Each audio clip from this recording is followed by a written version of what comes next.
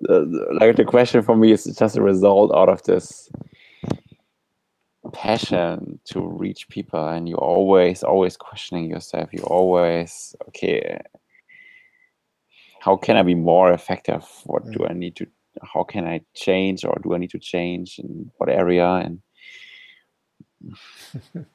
yeah it's constant. You know what? God loves that about you Jona you know there are 30 60 and 100 fold men and women you will either get to a hundredfold or die trying. So God loves that about you, brother.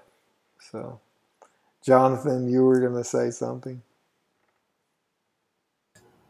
Uh, I was going to say um, one of you know the the parable of the four soils has been uh, really big and in it's taken a, a fair amount of time for me to learn how to apply that in sharing the gospel and it's taken even longer for me to learn how to apply that when recruiting uh, laborers uh, from from the Church Universal. In that I cannot make somebody interested. Mm. Uh, I mean, every once in a while, the the Holy Spirit will use you to do that.